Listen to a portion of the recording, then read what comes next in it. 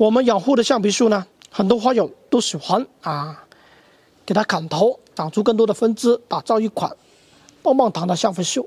大家看一下我这两盆，经过了多次修剪，现在呢，非常漂亮的一个冠幅长出来了，而且呢，不高。